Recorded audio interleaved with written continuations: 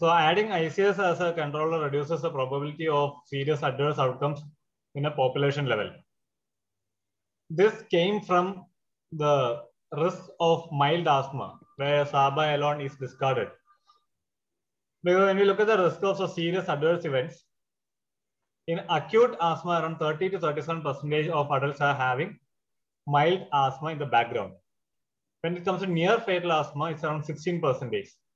And death in the mortality of asthma, at least 15 to 20 percentage of them are having only mild asthma in the background. That means even though we call mild asthma, they have higher, there is a higher risk of serious adverse events, which can lead up to death. And mild asthma can have these exacerbations because we know that the exacerbation triggers are very unpredictable. And just starting with the short-acting beta agonist will not give pro protection against this uh, risk of exacerbation. And once, uh, once the exacerbation is set in, it can go to any extent. So another thing is when we start the treatment with SABA, patient do consider it as a primary treatment and consider it as the treatment modality. And they will stick on to SABA, SABA and SABA PRN or SABA, SABA continuously, which will affect the further asthma management. So based on this and various studies which have shown that uh, there is significant adverse effects on using SABA quite frequently or continuously. So if there is a regular use of SABA for even one to two weeks, it can downregulate the beta receptors. It can decrease the bronchoprotection effect of bronchoprotection effect of the same medicine and other medicines. And it can have a rebound hyperresponsiveness. It can also decrease the bronchodilator response to a particular drug. And in fact, it can increase the allergic response and increase eosinophilic airway inflammation. So we say SABA is good for a short duration, for a few days. But if you go on taking it, it will have the negative effects rather than its, its own positive effects. And if there's a higher use of SABA, like uh, if they use three canisters of uh, salbutamol per year, mainly because they use it most of the in most of the days, then it is associated with a higher risk of very severe exacerbations. And if they start using uh, short-acting beta agonists almost every day throughout the year, leading to around 12 canisters per year, it is associated with a higher risk of death. Based on this, in 2019 guidelines, they said uh, no more SABA alone treatment. So based on that, GINA 2021 gives two choices, two tracks to say. So track one is where we should use a low dose ICS or formoterol and formoterol combination as a reliever instead of SABA. And it is the preferred approach because, uh, because the ICS in this will help in uh, decreasing the risk for exacerbations. And there's a track two, which say, okay, SABA as a reliever with some modifications. This track two is not the preferred approach, but it is an approach when there's track one is not possible because of the uh, patient's own condition or the disease condition. But what we need to do is we need to assess the adherence with the daily controller. If the patient is ready to take a daily controller that's a low ICS, then we can say short-acting beta agonists can be used as a um, reliever instead of uh, forcing on ICS formoterol combination. But if the patient is on an ICS LABA medication for a controller, then we can't say SABA alone as a reliever. We have to stick on to ICS formoterol as a reliever. And also, if you are using ICS formoterol as a reliever, then we don't have to phenotype the asthma further. If we are not, and we are using only SABA, then we need to see what phenotype, out of the various phenotypes, what phenotype is this patient having, and whether he will be benefited from the uh, use of inhaled corticosteroids as a reliever. And we can step up or down within a track or switch between the tracks if we find that one track is not uh, doing the job. So here, we have two tracks, unlike the previous GINA guidelines. We have track one and track two. Uh, to start on treatment, we need to, as usual, we need to confirm the diagnosis, uh, look at the symptom control and modify risk factors, which we can modify. Look at the comorbidities, and we need to look at the inhaler technique and the adherence every time the patient comes back to us. And we have to consider the patient's preference and goals as well.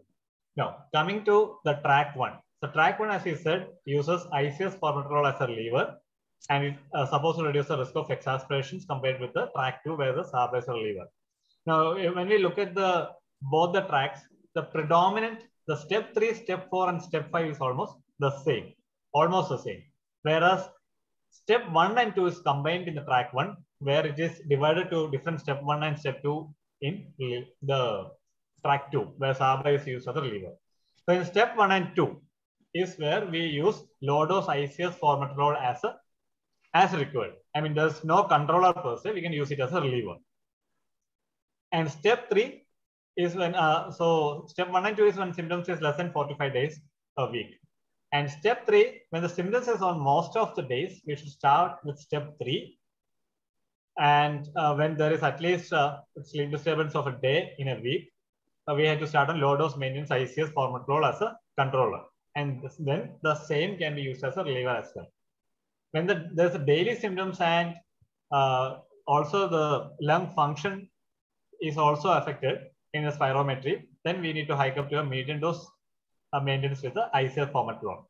And still is not under control, uh, then we need to add on LAMAs or any other um, biologicals uh, depending on the uh, severity of the disease. But again, step four, uh, when we're starting somebody on step four, as we usually do, we can give a short course of oral steroids for the initial control. Now, coming to the track two, here step one, we can do uh, take uh, short acting beta agonists as a lever, but take ICS also along with that. Take another ICS, do SABA, but not SABA alone if it's step one, because we are not do, using ICS as a controller there. Step two, so that is when uh, step one is when symptoms are less than twice a month. And step two is actually the criteria for step one, one or two in track one. There's a symptoms of twice a month or more, but less than 45 days a week. There we had to start on low dose uh, ICS as a maintenance. From step three, four, five is same as track one, but they uh, say ICS LABA, not necessarily ICS formoterol because tra track one is based on a single drug. And uh, so we'll stick on to ICS formoterol and track two when we are using another ICS LABA. And again, when we are using ICS LABA, as I said before, as a controller, then we need to use ICS lab as a reliever. I, I, mean, I mean ICS formoterol as a reliever. So evidence in step two, why we need to use ICS formoterol. So combined with the SABA alone treatment, the severe exacerbations are reduced by around two-thirds in ICS formoterol group. And there's a greater reduction in, in the exercise-induced bronchoconstriction as well.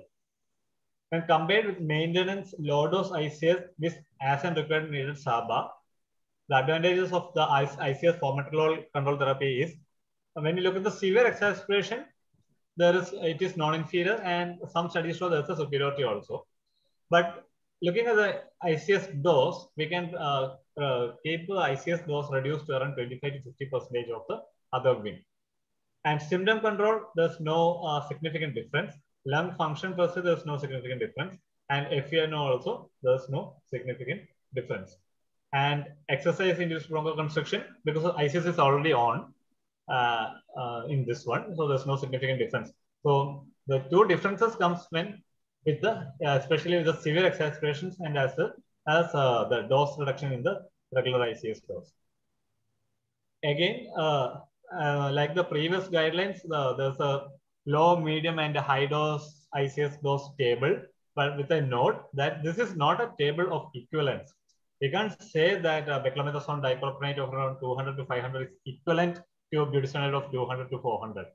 No, considering the same steroid as an inhaled corticosteroid, in the same steroid, it's divided into low, medium, and high. We, and we can compare the dosages uh, among the groups, among the steroids. So other changes is on in GINA 2021 is the, the de definition of mild asthma. And the current definition is asthma that is able to be well controlled with reliever alone or low dose ICS, but severity cannot be assessed until the patient has been on treatment for several months. So uh, here uh, in GINA 2021, they don't um, consider the, the commit the definitions to any of the severity of the illness or the um, chances of exacerbation. Just uh, stick on to just what medicine is being used. So when there's a mild asthma, it just means that it is well controlled with reliever alone or low dose ICS. Nothing about the patient's own severity of the symptoms per se. And so, so for the same reason, it does not distinguish between the intermittent and mild persistent asthma. And this it also comes with a note that uh, it will be reviewed during 2021 and presented in the next GINA guidelines uh, about attaching the severity to the asthma, mild asthma definition. Again, with a severe asthma, to avoid confusion, it is reworded. Like as, uh, severe asthma is reworded as the asthma that remains uncontrolled despite optimized treatment with high dose ICS LABA or that requires a high dose ICS LABA to prevent from becoming uncontrolled. Again, it's uh, just about the control and the medications, and then there's no uh, uh, nothing per se about the severity and the chances of exacerbations and the type of symptoms they're having. Again, LAMA is an add-on in step five. And for age group above six years, that means six to 18 years, it can be added as a separate inhaler if symptoms are not under control. And 18 years onwards and above can be added as a triple combination. And remember, adding LAMA will improve the lung function, but not the symptoms, at least by studies, and it can increase the time to severe exacerbation.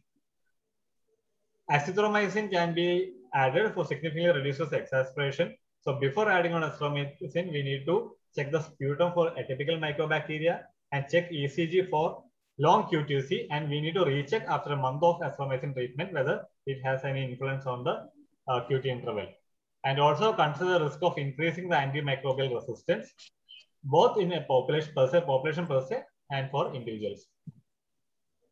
There's a note on the biological therapy and the special indications. Anyway, Pattabiraman sir will be elaborating on the same. Omalizumab, especially for chronic idiopathic urticaria and nasal polyposis there. Mepolizumab, which is uh, anti-IL-5 uh, for hypereosinophilic syndrome and uh, EGPA. Benralizumab is also an anti-IL-5 and there's no additional indication than before, uh, not uh, nothing addition to the mepolizumab indications.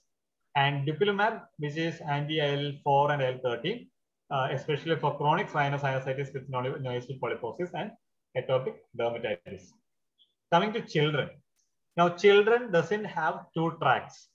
It's a single track where step one is low dose ICS taken whenever SABA is taken, like our track one, sorry, like uh, track two, uh, where symptoms is less than twice a month. And in step two, is symptoms twice a month or more, but less than daily. And the daily low dose ICS can be used. And at that moment, we can can add a daily leukotriene receptor antagonist or low dose ICS or SABA as PR medications and can be used as controller, uh, extra controller also, option also. And uh, step three, again, symptoms most days or taking with asthma once a week or more. It's almost the same, low dose ICS with LABA or medium dose ICS without LABA. And or we can start with the very low dose ICS formoterol therapy. So this is from six to 11 years. And step four is medium dose ICS LABA or low dose ICS formoterol maintenance and reliever therapy. That's the same ICS formoterol combination. And then step five, uh, refer for phenotypic assessment and then other add-on therapies.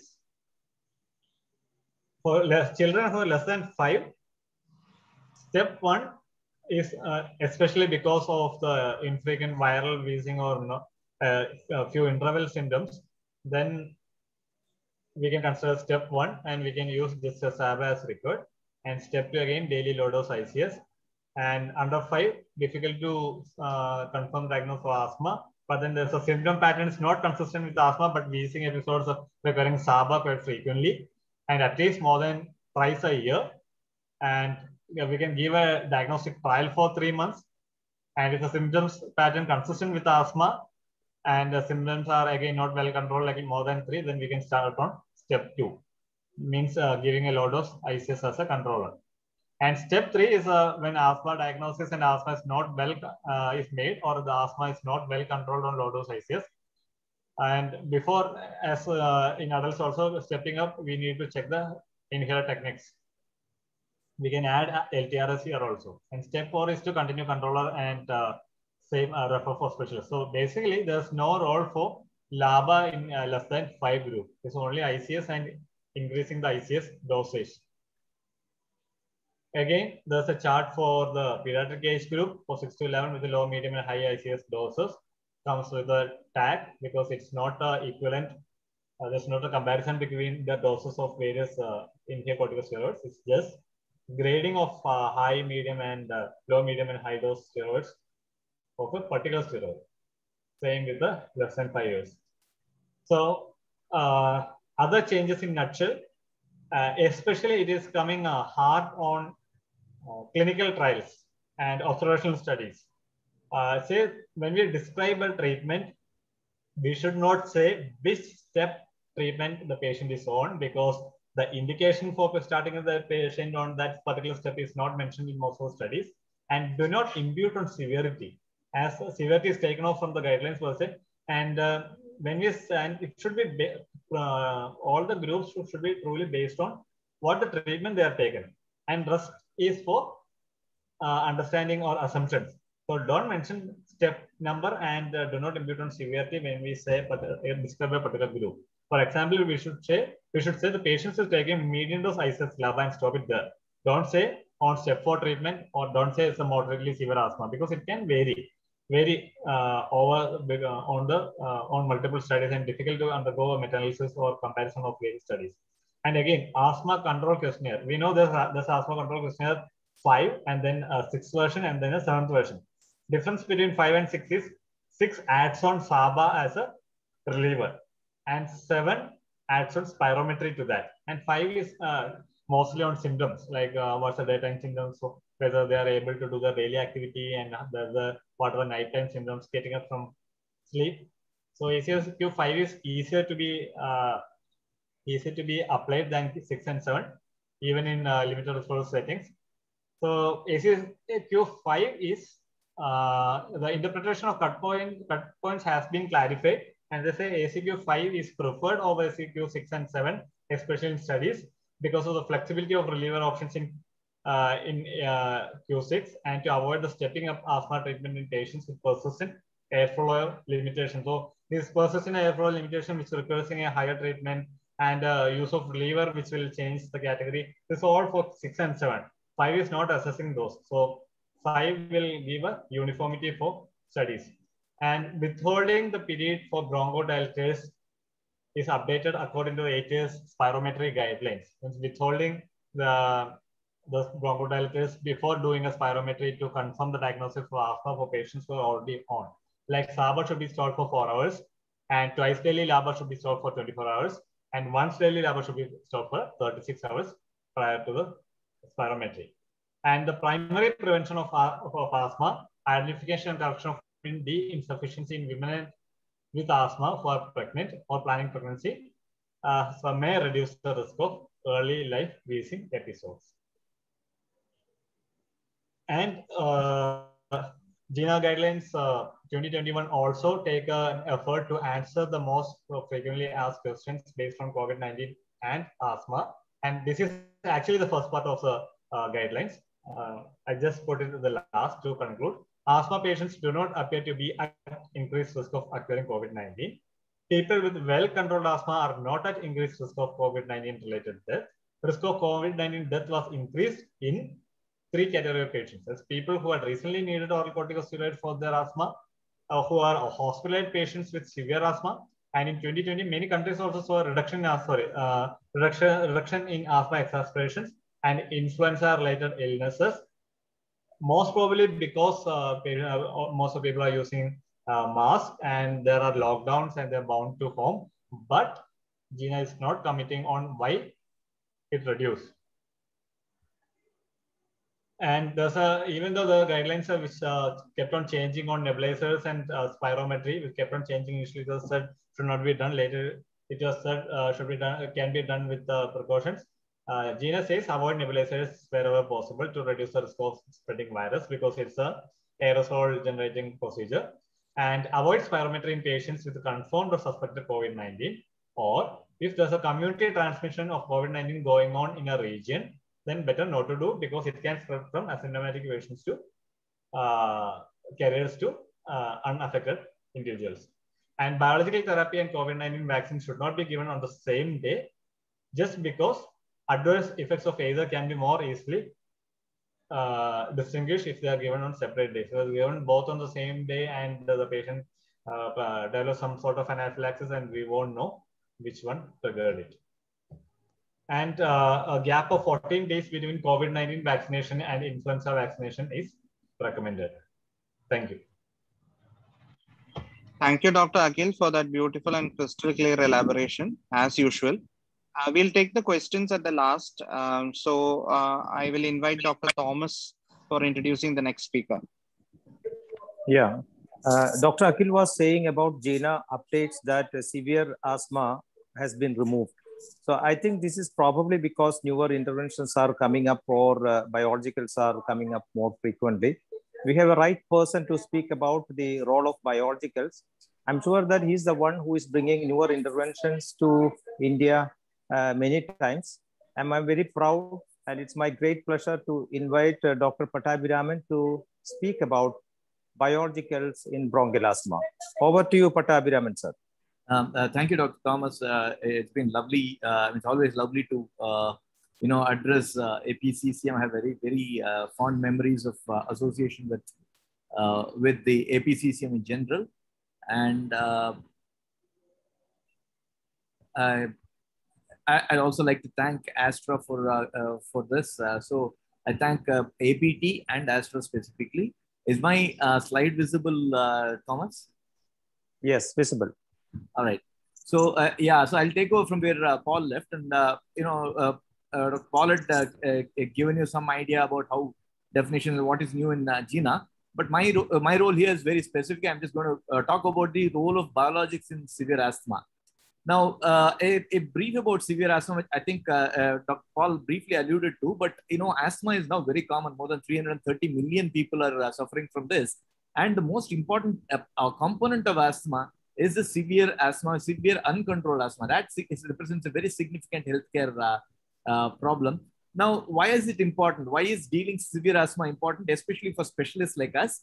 It's linked to the poor outcomes and medical emergencies. You can see that about 92% of people who have severe uncontrolled asthma have their normal day-to-day activities impacted by some way or the other, at least once a day. And there is a 10 times increase in risk of hospitalization as compared to people with controlled asthma. And in, in patients with severe uncontrolled asthma, there is an increased mortality. So there is activities of daily life uh, problem there is a hospitalization which is 10x, and there is also increased death.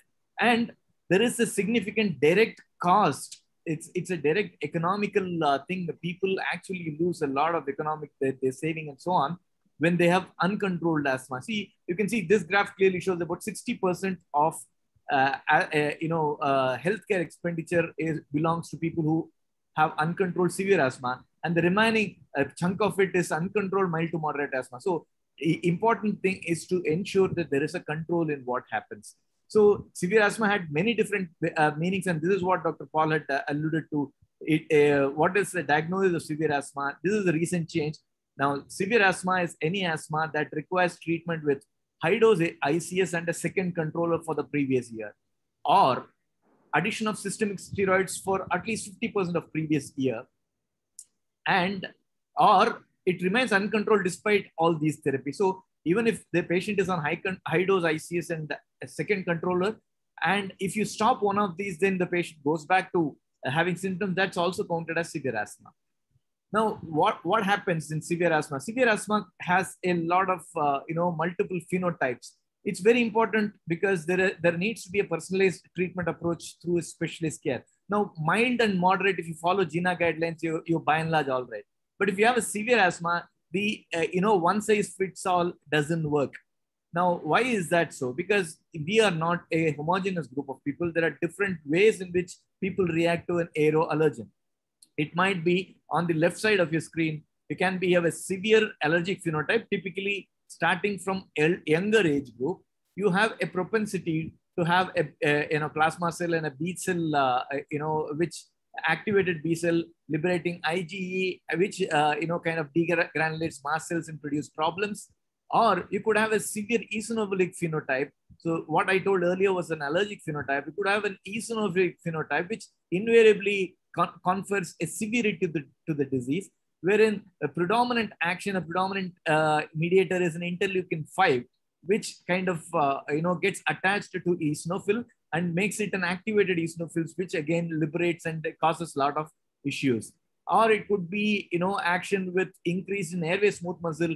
And so here there will be a role for a LAMA LABA combination. And also it acts more like, a, uh, you know, kind of uh, uh, less uh, reversibility. And here is where bronchial thermoplasty has no unquestionable role not that other areas you're going to question it. It is a final common pathway. So bronchial thermoplasty is relevant for all these phenotypes, but that's a topic for a different day. There is also a neutrophilic phenotype wherein the neutrophil gets activated. And there is some role for a, uh, you know macrolides here. So these are the kind of uh, uh, types of people that we have, and each one have to go through different approach. So you have different uh, ways of looking at it. You see a blood eosinophil and a sputum eosinophil on, on the y-axis and an x-axis showing IgE. So you could have high eosinophil, high IgE in an atopic asthma. You could have uh, you know higher IgE on this side. You can also have an atopic allergic, wherein there will be a combination of both uh, you know uh, uh atopia and eosinophilia, which is seen here. And you could have a pure eosinophilic and non-allergic are called as non-atopic asthma, wherein there is a lower IgE but a higher eosinophils, whereas a Th2 low asthma, wherein there is just a low IgE and a low eosinophil, which can be, uh, you know, uh, managed with the macrolides. And these typically are obese people. And so weight reduction is a very important thing. And a bronchial thermoplasty, as alluded to earlier in all four. So you have a higher eosinophilic and lower IgE, which is non-atopic, lower eosinophilic and higher allergic, which is atopic, for which we have a omalizumab, which is at least there for 20 years now. And this is the most common pattern where is this both atopy and also eosinophil, where there is a relevance for both omalizumab and anti-IL-5. So the choice would depend on certain other parameters. So we could have a eosinophilic impact when there is an allergy, which is mediated to IL-5. It activates eosinophil and eosinophil does two things actually. So you have an inflammation which causes a pro-inflammatory cytokines and uh, chemokines which have a direct impact on alveolar tissues. There are certain non-immune effects like allergic uh, eosinophil, uh, uh, you know, activated eosinophils affecting multiple cell types, leading to narrowing of airways and mucus formation, which will render the patient with a very severe form of severe asthma. Now, there is also, it is interesting to note that there is a linearity between the blood eosinophil and asthma severity and control.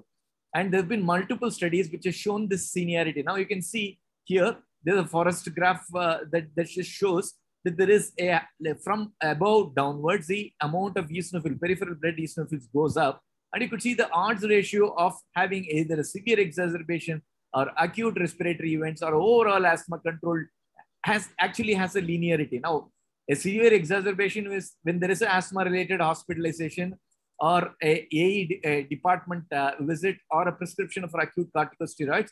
Whereas there is a slight difference between acute respiratory events and severe uh, things. These are dependent on, I mean, all these has been uh, taken from 12 to 18 years of uh, things and uh, they, they just depended on uh, which studies they've used and they show if there is an acute respiratory event wherein apart from what happens in severe exacerbation, there's also antibiotic use and overall asthma control depending on how much of uh, your uh, salbutamol or terbutaline is used. You could see that eosinophils increases severity of exacerbations and also the uh, lack of control shows up as there is a higher uh, amount of eosinophil. So eosinophil has something that can worsen asthma, both in terms of severity and also worsen the control of asthma. How do you recognize the severe eosinophilic asthma? So it's not only about serum eosinophils, you can also have clues there are clinical indicators when a patient has a very severe asthma with frequent exacerbations, low lung functions, and has a very good oral steroid responsiveness for a short while. And typically, there is a comorbidity including a chronic rhinosinusitis with a nasal polyp. Typically, these people have a middle age, you know, onset of asthma is middle age, not very early as in allergic asthma. So in eosinophilic asthma, non-atopic eosinophilic asthma typically are the frequent exacerbators with low lung function, oral steroid responsiveness with comorbidities, the most important thing is the rhinosinusitis with the nasal polyp. Coming to what are the approved biologicals? There are three biologicals approved in the country at the moment. First is been there for ages, omalizumab. Indications very clearly, patient should have a moderate to severe persistent asthma for more than six years of age. So this has uh, been proven for even seven-year kid. There has to be a positive test for perennial aeroallergen, which can be either in form of skin prick test or a Phadiatop uh, IgE, specific IgE assay. The dose is the following. There is a, there is up to 750. In fact, someone uh, and now it is between 750 to 1000 also is approved. And it is not in our constitution. Hello.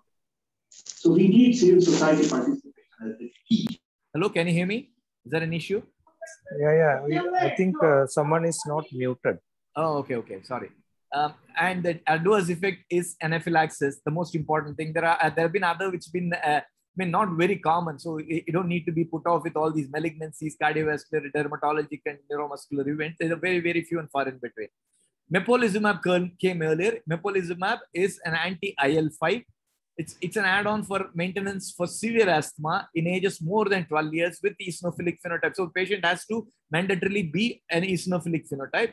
The dose is 100 milligrams subcutaneous every month. Again, these are the uh, local site reaction being the most common uh, thing. And the benralizumab is the latest.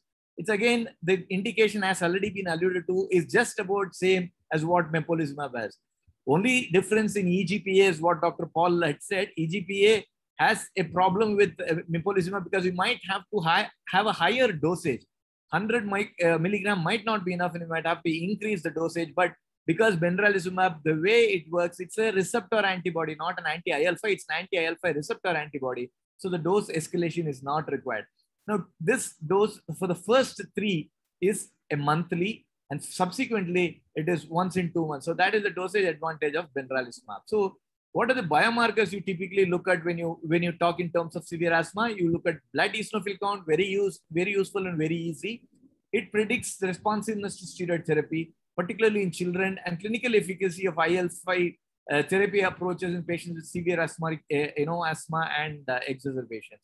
I, IgE was specifically to rule out an anti-IgE, uh, you know, to, to look at the atopic asthma and also to, uh, you know, uh, get the dosage right as far as omalizumab is concerned. FeNO is also useful. It's just a surrogate of airway inflammation and usually reflects a, eosinophilic inflammation. And so that will be also useful. And sputum eosinophil count is very difficult to do. So uh, it, it, it kind of, uh, you know, echoes what happens in the blood eosinophil count. So the first uh, thing to come was anti-IgE, the omalizumab. So the thing is, when there is a subset of patients with allergic or allergic eosinophilic phenotype, the beta cell will, uh, you know, uh, encourage the plasma cell to release IgE. The IgE goes free. There is a free IgE. Then there will be a, uh, it just gets attached to the mast cell in that receptors and it releases soluble mediators causing allergic inflammation.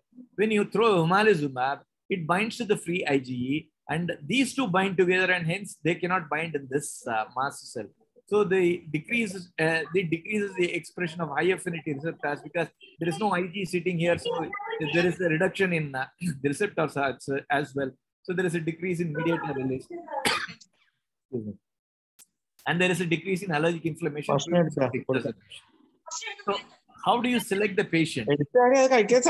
It's an add-on therapy. It improves control with six years of elderly, uh, six year or more, and severe persistent asthma with a positive skin test or a RAST with a reduction of lung function. So patient has to be qualifying for this only if you have a less of uh, uh, you know, FEV1 uh, less than 80% with frequent symptoms, multiple exacerbation, receiving high dose uh, LABA.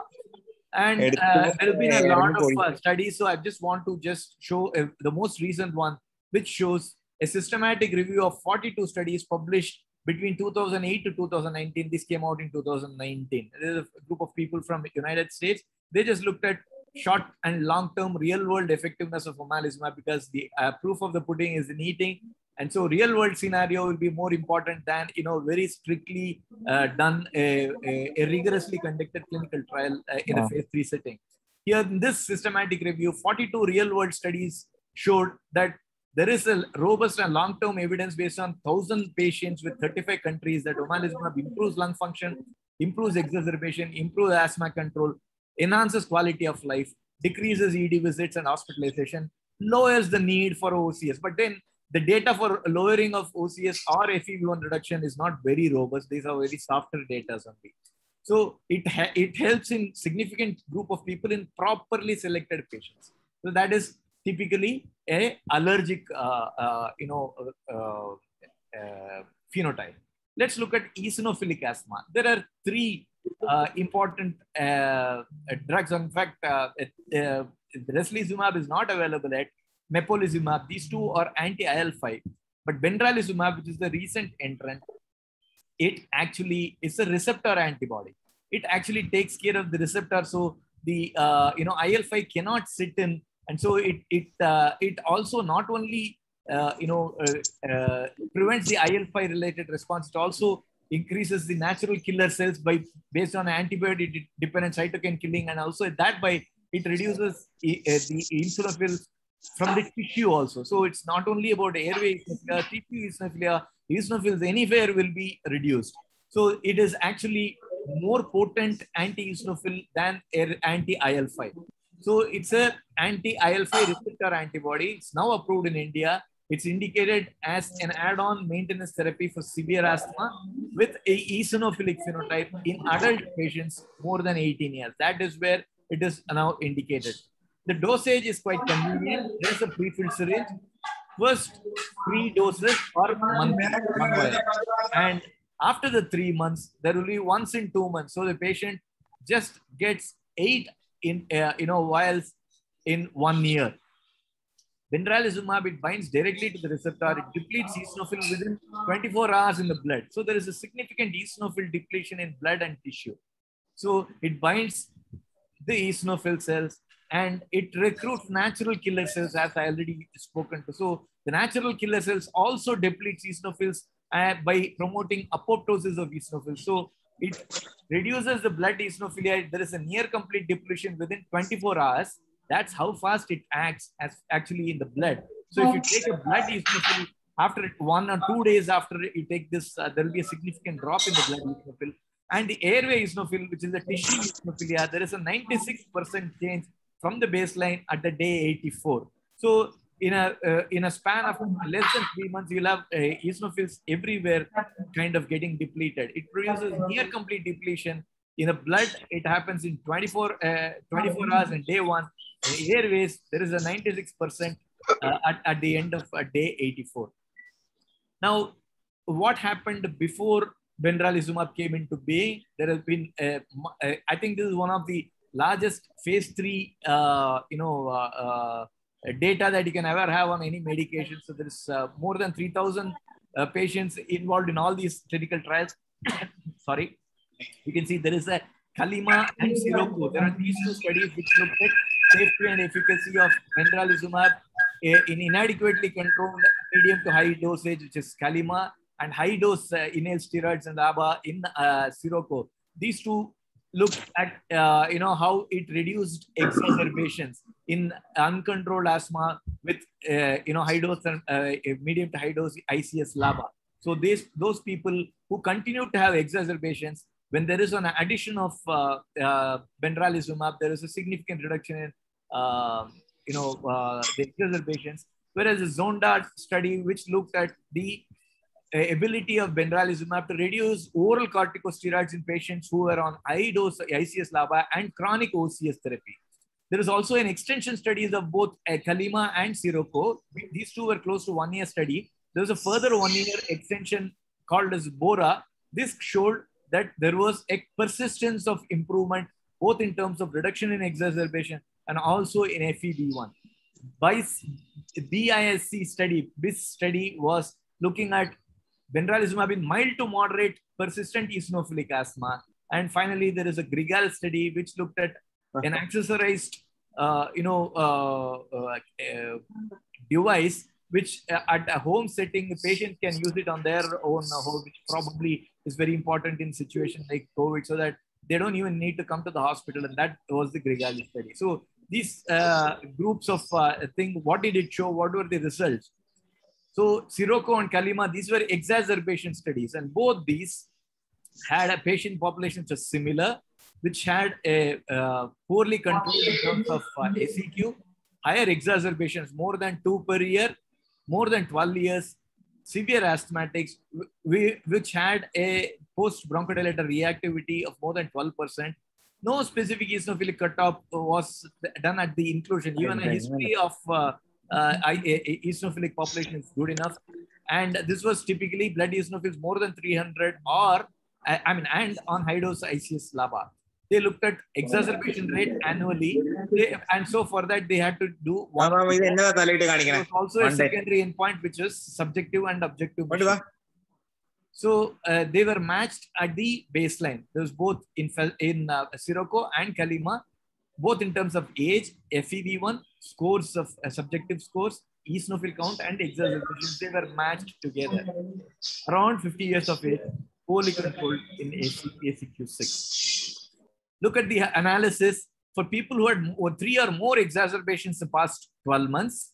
Both these studies, which showed both in Sirocco, which ran for 48 weeks, and Calima, which ran for a whole full year, there's a significant decrease. Uh, p-value is very significant. There's close to 57% in uh, uh, Sirocco trial and 51% reduction in annual exacerbation rate, especially in people who are exacerbation prone. We've already spoken earlier about the role of eosinophils in exacerbation and found out that anti-eosinophilic, especially anti-IL-5 receptor antibody, reduces this exacerbation to significant proportions, at least close to 60%. ZONDA study, which is the oral corticosteroid reduction study, and this space is getting more, uh, you know, attraction with a, a, a, you know PONENTE study, which is coming up next, which, which will be uh, you know uh, available anytime, uh, probably in a week or two, uh, which has shown that there is a phase-wise react reduction in corticosteroid, which will also tell us how to reduce the oral corticosteroids when the patient is on benralizumab. That is also almost nearing, uh, uh, you know, a publish, uh, publishing. And this ZONDA study looked at the primary uh, endpoint was a percentage change in final OCS compared with baseline while maintaining asthma control. So asthma will be maintained and we we can continue to reduce the oral corticosteroids. So what are the patient population? These are typically very severe asthmatics. They have a higher exacerbation rate. Most importantly, they are also on oral corticosteroid therapy. So it can range between 7.5 to 40 milligrams per day of prednisolone for more than six months before enrollment. So before enrollment, these people will come to a baseline steroids, which will be uh, the, uh, the minimum dose that can be used to control that asthma. So that is the running period. And after that, they'll randomize to placebo and benralizumab, following which after about a month, they'll start reducing oral corticosteroids every, every four weeks. So every month they'll start reducing and they looked at it for close to six months. So this is a very elegantly done study which showed how a role of anti-eosinophilic can actually in a in a category in a in a very methodical manner improve or reduce the uh, oral steroids. Now we all know that there are two reasons why steroids are given on a long term. One will be for the severity that will be taken care of by this. There is also the reason why uh, people continue on a low dose will be as a replacement in relative adrenal insufficiency. In those cases, we might not be able to take it completely, but at least we can get a control so that we can reduce the steroid to the lowest possible rate. That's why it might not be 100% because there might be an element of a, a adrenal insufficiency which might warrant a little bit of a steroid for some group of patients. So let's look at the patient basal characteristics. Obviously, you have severe patients. Average age is about similar. They were on median OCS of up to 10 milligrams and elevated eosinophils despite, uh, uh, you know, steroids. See, look at this. These people had higher eosinophil count despite the patients being on steroids. So these are very severe eosinophilic asthma. These are the ones that really will suffer continuously and they'll have a recurrent exacerbations. These are the patients whom our heart sinks when we see them outside our uh, clinical OPD because every time we see them, they invariably come qualifying for an admission. And so these people are more seen in emergencies than in OP. So these are the typical patients that were tested. And there were about 75 patients. They're not it's not like 2000 patients uh, trial like a Sirocco or uh, uh, Calima because these are very, very severe patients which uh, need this. So what have all these data shown us? Sirocco and Calima has shown that there is a reduction in uh, year one.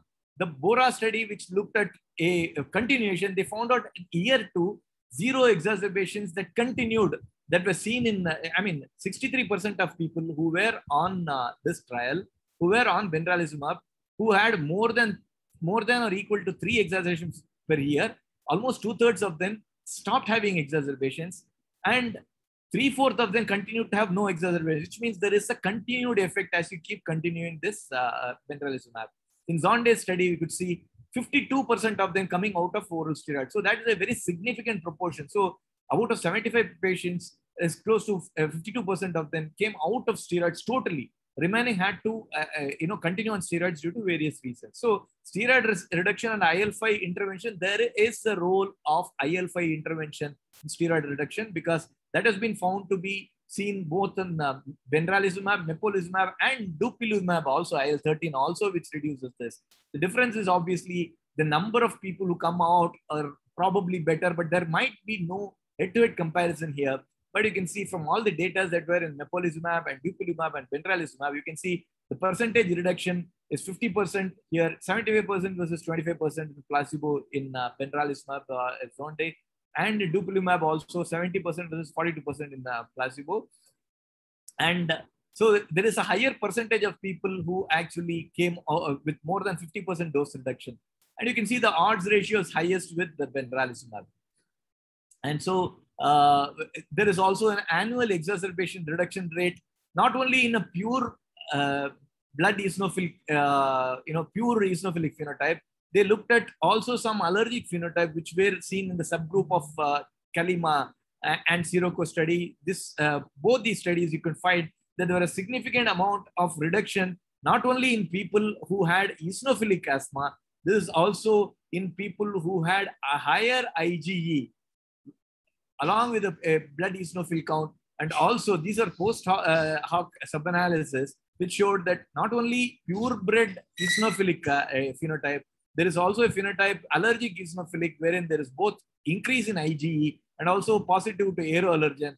The AAR reduction in patients by atopic status also was very high. So it's both in allergic and non-allergic eosinophilic uh, phenotype there is a consistent reduction in annual exacerbation rate. So it's not that if you have an allergic uh, eosinophilic versus purely eosinophilic, there is going to be any difference. So if there is going to be any eosinophilic component, handling that eosinophilic component always uh, reduces the annual exacerbation rate is what this subgroup analysis is shown. So you could also have a overlapping phenotype like an allergic and eosinophilic phenotype, wherein if you have to have only one if you have only one chance of going with a uh, monoclonal antibody, would rather have an anti-IL-5. Again, that this is an issue for a debate. There are different ways of looking at it, but it's a very useful, uh, uh, you know, study to show that it's not only pure eosinophilic asthma, it's also allergic eosinophilic asthma will have a good improvement with benralizumab, and I'm sure the other anti-IL-5 also. But this is the only uh, I mean, this, this is the only thing that was uh, actually second year also done. Uh, so this is shown in Bora study that there is a subsequent increase in FEV1. So it's not only about subjective improvement, not only about reduction in exacerbation, there is also a objective increase in FEV1 from the baseline. You can see 365 ml increase from the baseline. That's a huge amount of uh, FEV1 that can be, uh, you know, uh, so is there any safety issues? Because there's always been an IL-5 versus an IL-5 receptor. There is a you know complete depletion of eosinophil. Is that going to translate into anything which is uh, you know unsafe? That doesn't seem to be any safety issues. Uh, it's been studied since 2010 with more than 68, I mean around 68,000 patients with benralizumab. There is no new safety signal associated with the long-term depletion of eosinophils both in Bora up to two years of uh, thing, and it's not highlighted any concern with malignancies so far. There is also no clinically significant helminth infection during the phase three program, despite recruitment in endemic areas, including parts of South America and Asia, which I'm sure uh, in in our uh, uh, you know uh, in our subcontinent as well.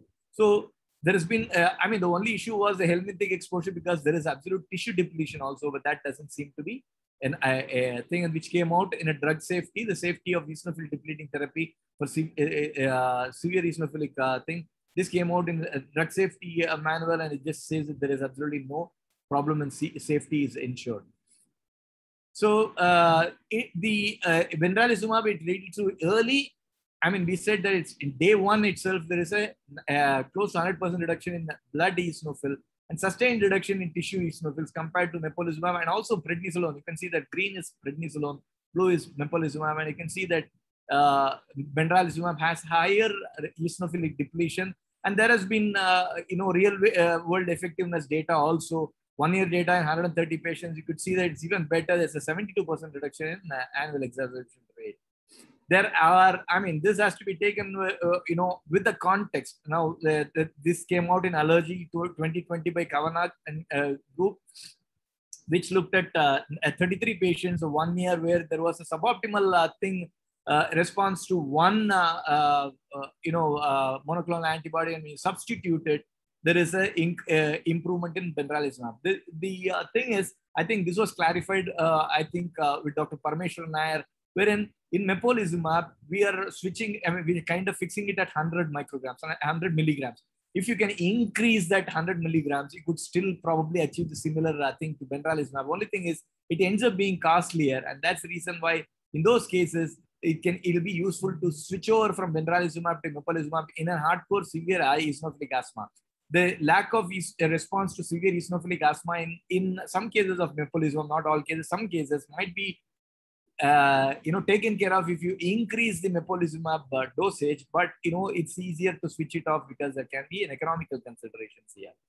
Dosing considerations also is quite uh, useful to know that there's only 8 as against uh, uh, you know 12 to 13 and uh, 13 to 26 in omalizumab. Number of doses per year comes down.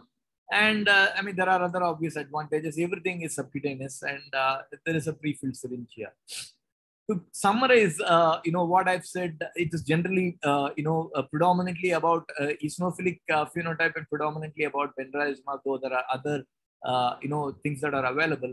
Eosinophilic airway inflammation is central to exacerbation pathogenesis and poor symptom control in asthma. We've seen that there is a correlation between the amount of eosinophils and poor symptom control, exacerbations, and also, you know, I mean, that's been very clearly proven by very elegant studies uh, and meta-analysis. Targeting this eosinophilic inflammation with anti-IL-5 receptor or anti-IL-5, and that uh, obviously goes without saying, reduces exacerbation, improves asthma control, maintains OCS use in severe eosinophilic asthma. Benralizumab is equally effective in both atopic and not atopic eosinophilic asthma. That was proven by that subgroup in both the Calima and the Sirocco study.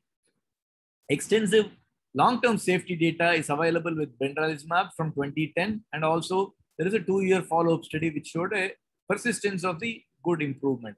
Benralizumab is the only biologic with every eight weeks uh, and patients-friendly dosing. So these are the key uh, summary points, and I would like to thank uh, the organizers for giving me this opportunity, and also Astra for uh, uh kind of uh, you know thing. And I'll be happy to take any questions related to this. I would submit though that I have some experience with IL-5, a good experience with omalizumab, and experience with IL receptor will, will start very soon. Thank you, and uh, thanks APT for giving me this opportunity. Thanks. Uh, over to you, uh, Thomas. Thank you, Dr. Pattabiraman. That was an excellent, enjoyable, and effective presentation on biologicals. As a dedicated uh, uh, interventional pulmonologist, I think uh, you will be more uh, happy with uh, interventions rather than biologicals. But uh, I think uh, uh, the bronchial thermoplasty is something like a love marriage, where we are not checking into the caste, religion, phenotypes, or anything like that. Yeah, uh, but biologicals, we have to be just like an arranged marriage. Probably we have to think of uh, phenotypes, eosinophil count, the amount of inflammation, so many factors, or even jadagam of Yeah, the patient. Yeah. So uh, I'm very eager to hear from you. What are the plus points of biologicals compared to uh, bronchial thermoplasty? Yeah, interesting that you asked me that. So our uh, you know tryst with biologicals increased after bronchial thermoplasty, and I'll tell you why. So bronchial thermoplasty, uh, it is uh, as you said, is applicable to any severe asthma. Only thing is there needs to be a reduction. Uh, there needs to be an FEV1, which is actually good enough for them to sustain a procedure. A bronchoscopic procedure goes for 45 minutes. So patients with preserved lung function, I would still think bronchial thermoplasty is effective in terms of it is it has got only a finite amount of uh, thing. There is only three uh, sittings, and after that, there is a, a data wise. I think it actually is similar to any of the other things. The problem with bronchial thermoplasty is its invasiveness of the procedure is a bit invasive. Again, I wouldn't call it an absolute, uh, uh, you know, uh, uh, love marriage because you, as we all know, even love marriage people get into problems. In uh, bronchial thermoplasty also, if the case selection is not very good, and there can be some cases where, uh, you know, uh, due to various reasons, uh, the uh, improvement may not be optimal. This happens in about 25% of the time. Having said that, there are now more advances in terms of understanding this to identify whether there is a ventilation mismatch, and they're using a complex uh, radiological thing, including helium, MRI, and I think if you if you can find out there are there are inhomogeneous uh, smooth muscle uh, uh, hypertrophy which can be uh, brought out by uh, helium imaging and uh, some ventil- ventilation uh, thing which have been uh, uh, you know explained in Toronto that if you can identify those areas you could use a single setting bronchial thermoplasty which is equivalent to a three sitting bronchial thermoplasty so there is a significant movement on this side also so you might have a more customized and a more uh, uh, you know uh, elegant way of identifying which patients uh, will fit in with uh, what. And also thermoplasty can be used in case the biologicals either fail or the patients uh, have a problem in continuing this. There's always a difference. Patients' acceptability for an injection is a lot better than an invasive procedure.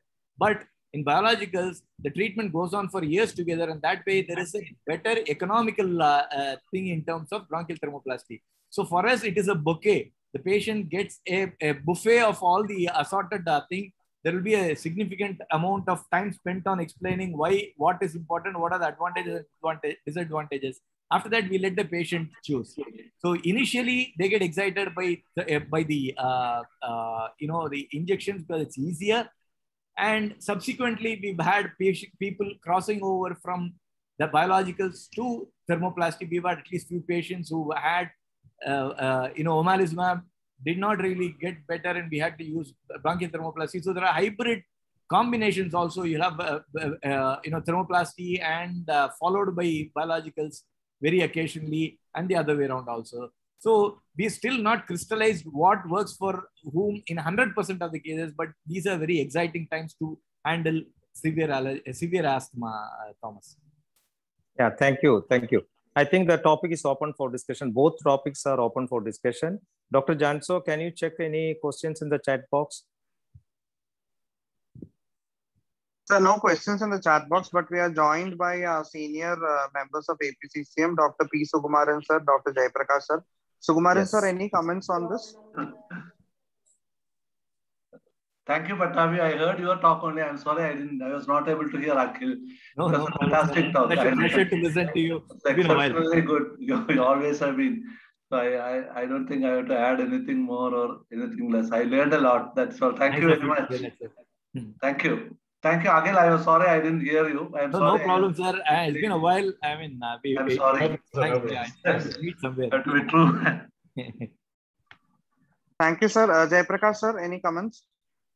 Uh, Dr. Patabi, Dr. Jayaprakash here. Hello, sir. How are you, sir? ah, doing good. Yeah. Yes, sir. Uh, Yes, sir. actually, it was an excellent talk. Actually, no. Thank you. I, I just want to clarify. Uh, you said uh, uh, blood eosinophil is actually uh, almost equivalent to the sputum eosinophil, which is difficult to do uh, Yes, for assessing the airway inflammation, even though which is more specific.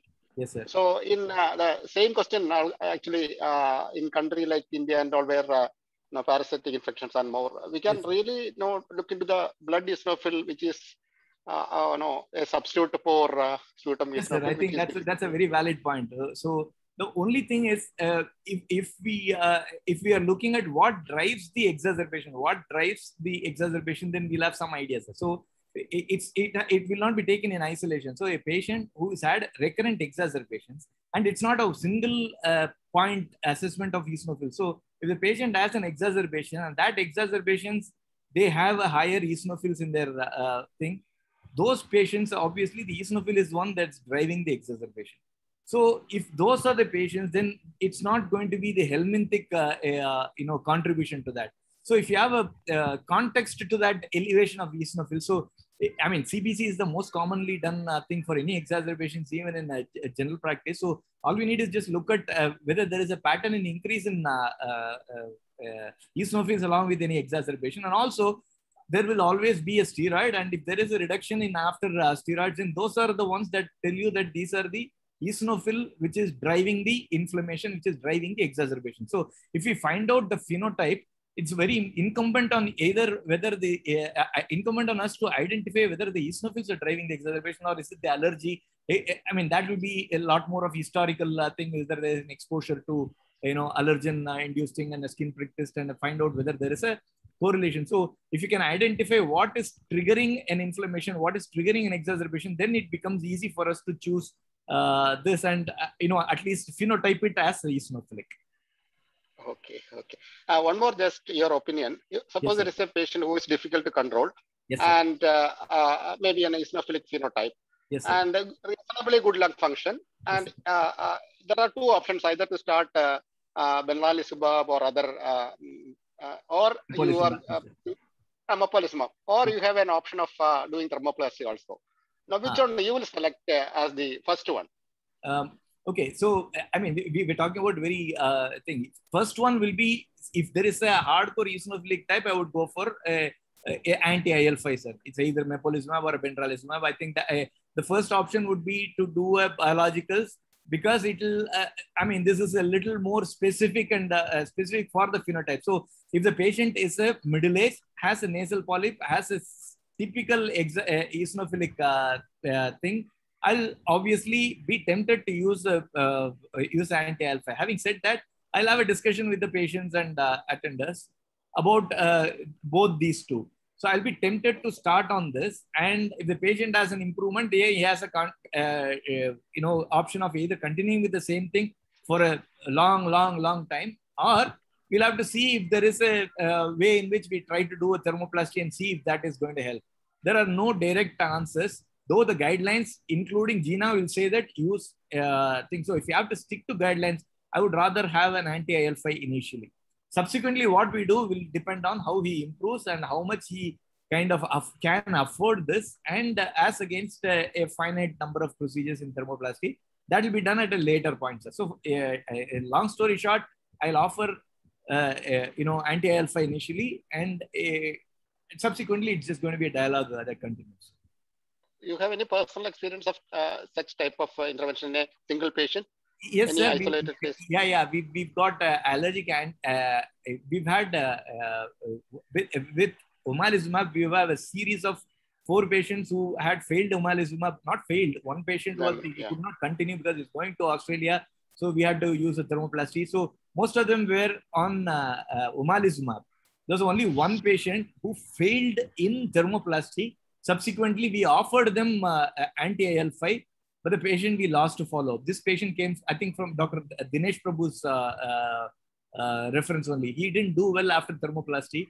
And I, I, I mean, I, uh, last time we met Dr. Dinesh Prabhu, we just asked him. I said he came back once, and after that, they, he didn't follow there uh, as well. So that would probably a patient because that was an eosinophilic phenotype. Th- those were the days when there was no mepolizumab also, so we couldn't really uh, uh, start it at that point we told them that there might be coming it uh, i mean the subsequent thing will be coming and uh, after that we lost follow up sir. Okay, okay. Thank you so much. yes Akhil, Akhil, are you there? Yes, sir. Uh, Akhil, actually, it was an excellent uh, no, narration of the uh, update of GINA. Just Thank a uh, opinion from you. Uh, uh, what are the what are the drawbacks of the GINA guidelines in the context in the Indian context? this updated guidelines in Indian context. Drawback of GINA guidelines? Ah, in, in our in our context, Indian context. Indian context. Yeah. Um, one uh, most uh, about the grading, sir. Um, to start with, uh, but then uh, the present GINA guidelines, uh, when we look at it, uh, the, throughout the, how the GINA guidelines uh, and all uh, evolved, whatever we were practicing and wanted to practice, uh, guidelines is uh, slowly coming to what we were already practicing. Which I mean that uh, Yes, uh, various steps and various sort of medicines that we are adding like uh, SABA, PRN or the ICS-formoterol PRN, when we are considering the conditions of the patient and the uh, financial issues, we were almost following whatever uh, what the GINA guidelines is evolving into. Whatever the guidelines comes one year, uh, like 2021, even the guidelines, many of the things we were following before. Like uh, previously, most of the guidelines was based on the spirometric values and then uh, reclassify the severity of asthma. Now they have taken it off all and uh, just based on wh- whether the patient's symptoms are controlled on a particular medicine, particular group of medicines, and that especially is taken for the definition using uh, for the definitions of the various severity of illnesses.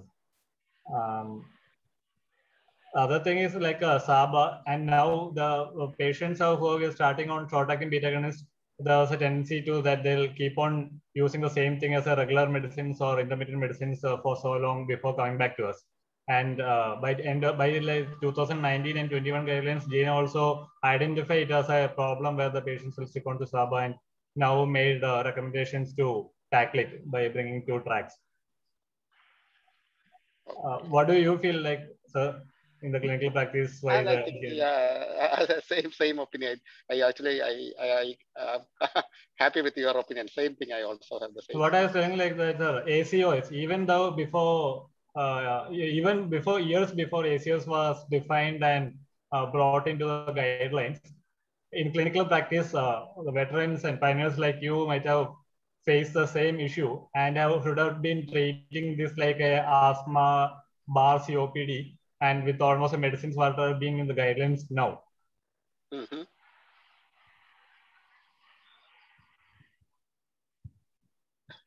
years back, like when you started, uh, seniors like you started practicing. Uh-huh. Hello. Hello. Practice has Yes. been evolved much before the guidelines. Hello. Yes, sir, you're audible. I think Akhil had some internet Uh, issue. uh, Uh, am I audible? Yes, sir, yes, sir. okay. Okay. I think we'll. Uh, uh, uh, you can hand over to some other. person. Uh, Suman sir, am I audible now? Oh, yes. Yes.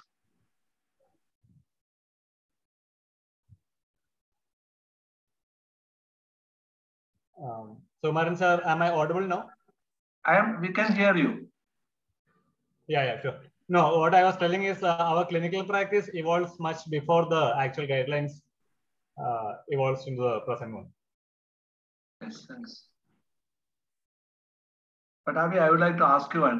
How often you use uh, exhale nitric oxide as an indicator? How often, or do you use Okay, it not- We, we don't have a FeNO sir yet, and we just ordered for one. Ah, So I don't have any experience at all. that's. It's been, I mean, in Coimbatore, there are enough people doing it. There are, there are uh, five or six centers. We'll be, we will just uh, doing it very shortly. So Very short. yeah. Okay. I do Yeah, not. but in the current GINA guidelines, uh, uh, they have given taken off for Uh, exhale nitric oxide. Exhale nitric oxide, they have taken out. They are They're taking not off the stress on exhale nitric oxide. Like we can't uh, follow up with that. We can't diagnose just because uh, based on that. All those changes have been made in G- GINA 2021. Only I thing can- is, uh, if the exhale nitric oxide is very high, can we predict that uh, steroids will work better? Possibly, and exacerbations possibly. Yes, yes. That may be. And another thing is, uh, how long you should give uh, biologicals? so Uh, uh, I, it's have interesting woken up my, from my this thing. I, I'm sorry if I interesting- made you time. No, no, I no. hope I have, we have time. Uh, Yes, how long we yeah. should give? Absolutely. So there is no upper limit now. As of now, uh, as uh, it's you have to give it for a long, long time. As far as omalizumab, because of uh, uh, you know a, a good I mean, this is about 20 years of experience. So omalizumab, we have some kind of a clarity. After one year, we can try and stop. And if, if it, I mean, there are a lot of people who have a problem again. So at least uh, 60 to 70 percent of them might have to restart and go on. Uh, as far as uh, uh, you know, uh, anti IL5 is concerned, both mepolizumab and benralizumab, there is no role for stopping it in between. So it's almost as good as an inhaler as well. That is where we'll have a problem, uh, and that is where probably uh, patients might, uh, you know, uh, kind of compare uh, uh, thermoplasty a little more favorably. Stable, better. Uh, Uh, Pataviram sir, Thank you. Thank you, thing. Thank you for having. Yeah, yeah, sure. Thanks. Pataviram sir, from your experience, Yeah. uh, after stopping these biologicals like omalizumab, uh, how long the uh, effect persists? That's question number one. And mon- second, few months. Few a months. few months. And when you need to start someone not. someone on uh, comparatively expensive therapy, what is the complaints or response? Sorry, say the second question is. Second question this is uh, when we need to restart on uh, biologicals after a gap, Yeah. Bearing it being a bit more expensive therapy than inhalers. And Yeah. what is the complaints of the patients on being getting started once again? Okay, so the patient who worsened because of stopping, and if he improves after uh, uh, he gets back, then there is a better compliance. Uh, uh, if he can afford it, he'll usually do it because uh, he's in an exacerbation, so it'll be easier for them to comply with it. Ultimately, uh, omalizumab is not very costly. So Not very costly, no. complaints uh, in India is essentially economics.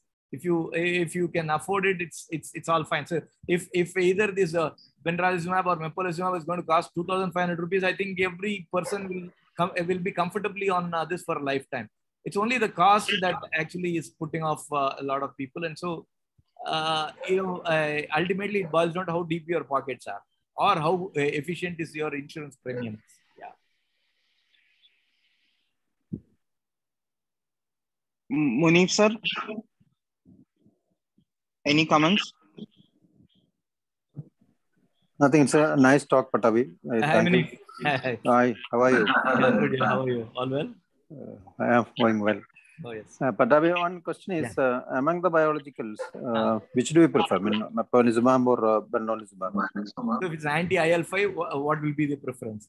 Well, it No. was uh, previously there was no preference, there was only one available. Now there is two. Again, it, it's up to the patient to decide.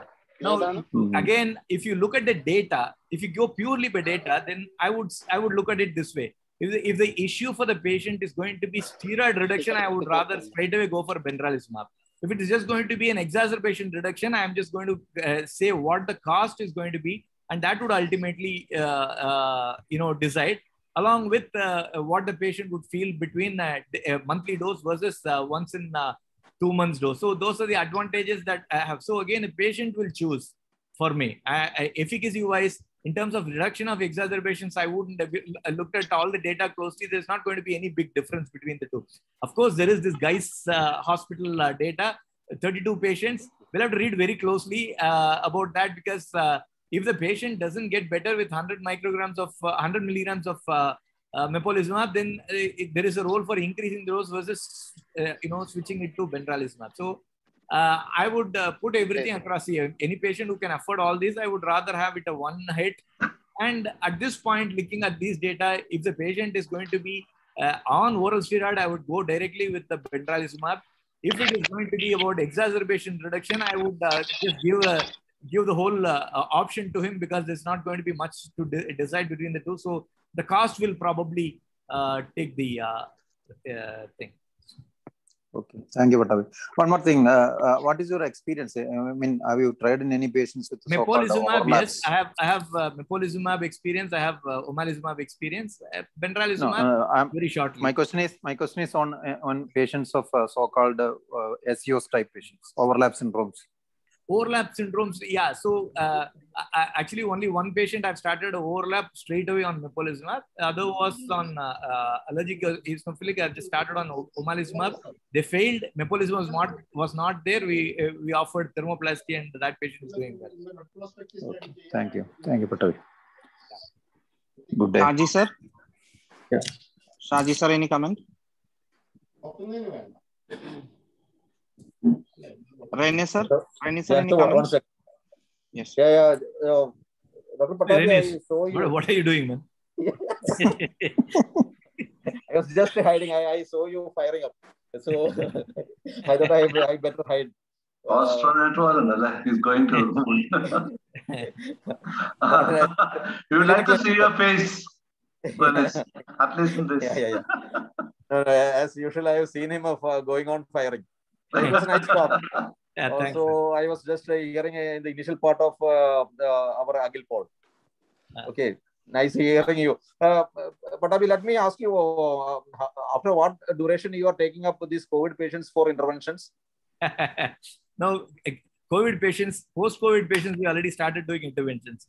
We've, we've done, uh, I mean, all sorts of uh, uh, things. We started, uh, I mean, uh, uh, malignancies, we've had a, a few, uh, we had to do rigid bronchoscopy during COVID also. We had to do for certain people who had, uh, think foreign bodies. And now there is a lot of thoracos and mediastinal nodes and, uh, uh, you know, lavages for fungus and so on. So all these things are happening. But hardcore uh, interventions, uh, uh, the last time we did bronchial thermoplasty was two years ago. So I mean that uh, I mean all the elective kind of thing uh, uh, they didn't really uh, you know we've not really started yet because they didn't come. And there was uh, this COVID uh, thing. I, I think uh, uh, Akhil told about uh, reduction in asthma during the whole uh, pandemic. I mean that's very true. There are not much of asthma exacerbations that we had. Uh, not that we had beds for them also. That's a different matter. But I think so. Need for thermoplasty bar biologicals were, were all uh, quite quite low, and we've started all the interventions at this point. All the e-buses are running and the thoracos are running. Hardcore, uh, you know, airway interventions have come down considerably, and I, I expect it to go up a little uh, subsequent. Because we are getting a lot of uh, MDR strains, fungus Yeah, in yeah, the yeah. immediate post-COVID period. Uh, uh, Yeah, Do you take yeah. up uh, having the same thing. bronchoscopy or just a sputum evaluation? No, we, we also do bronchoscopic uh, thing uh, biopsies from the, the for for mucor we usually go for a tissue biopsy than just a lavage and so uh, we we are uh, ending up doing all the guided biopsies and lavages now. Are you using uh, cryo for uh, post-COVID? Uh, it, depends. You know, we for mediastinal nodes we, we started using 1.1 cryo for mediastinal lymph nodes uh, for the biopsy of the mediastinal lymph nodes. So those are the exciting things that we're doing. But generally, uh, for a, I, ILD, we are not doing any uh, cryo TBLBs. We've done one uh, one ILD cryo TBLB very recently, uh, but that was not COVID. So for COVID related uh, uh, interstitial lung disease, we don't even bother to do anything. They get better on their own. Yeah. Okay, thank you. Yeah. Nice talking to you after a Yeah, long time. Likewise, yeah, likewise. It's been a while. Thank you. Thank you, sir. Uh, Rekha ma'am, any comments?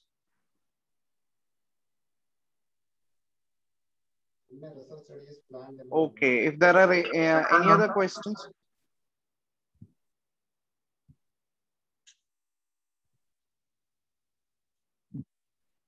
Okay, if there are uh, no other questions, shall we close the session? Sure, sure, sure. Okay, so today's program is supported by AstraZeneca, so we'll have a sponsors time. Uh, Mr. Devanand. Well, uh, uh, thank you, Doctor. In fact, uh, good evening to all. Good evening, Sukumaran sir. Good evening um, to rest of all the participants and uh, speaker, Dr. Akhil and Dr. Pattabiraman. In fact, a high energy talk. I only feel that I have added value by uh, taking care of this particular uh, event. Um, it only makes us feel proud and happy. I have nothing more to add. Thank you so much, Dr. Akhil uh, and Dr. Pattabiraman. So we are so happy to be a part of this session. Thank you so much. I just would like to sign off by um, thanking uh, the organizers, Dr. Uh, Janso and Dr. Thomas Vadakan for giving us this chance. Thank you so much. Wishing you all good health and safety. Thank you. Thank you. Bye. Good night. Bye, sir. Good night, everybody. Pattabi, bye. Akhil. Bye, bye, sir. So from uh, on behalf of the Association of Pulmonologists Thrissur, let me uh, from the bottom of my heart extend our gratitude always uh, uh, done justice to that. So thank you, sir, coming in spite of your very busy schedule. Uh, I would also like to thank Dr. Akhil Paul, who always accepts any invitation which we give. So he is again uh, uh, weapon for us uh, in our association to use for any uh, meeting, and he has readily done given what we always wanted. So thank you, Dr. Akhil Paul, again on behalf of our association. Let me also thank the senior uh, members of APCCM, Dr. Uh, Sukumaran sir, Dr. B. Jayaprakash sir, Munif sir, and um, all the doctors who have uh, come here in, uh, with our invitation. Uh, we acknowledge the presence and uh, are greatly blessed by your presence. Um, let me also thank the senior members of the Association of Pulmonologists Thrissur, Dr. Davis Paul, Dr. Shaji uh, Joseph, and all the other members uh, for attending this session. And uh, um, a special uh, gratitude also goes to the Secretary of APCCM, Dr. Jayaprakash sir. With that, uh, let me uh, close the session uh, for fellowship and dinner at your own homes. Thank you. Thank you. Thank Thank you. you all. Have a Thank great you. night. you will have to give. Devanand. Uh, done, sir. Certainly, a day would come. Uh, we would catch up, Yes, sir. uh, sir. and I'll definitely uh, we'll have some good times. Okay. Bye. Right, good sir. night. Thank you, sir. everybody. Bye-bye. Good night. Kumar sir. Thank night. you, sir. Good night. Thank you. Thank you, Jayaprash. Thank you. Good night.